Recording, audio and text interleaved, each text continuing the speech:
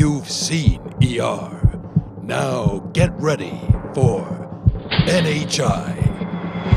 Critics are calling it topical, Uh, I need a spy. Stat, has anyone got a spy? arousing, Dr. Zuma, is that a stethoscope in your pocket or are you just happy to see me? For the last time, I am not having a sex change. My voice is just naturally deep. action packed. His medication has worn off. Quick, Nurse Becky, give him three shots. Damn it! That's not what I meant. Do you know who I am? Oh dear, we've got an amnesia case. No, he is here for an emergency liposuction. Give me a number two blade. Number two.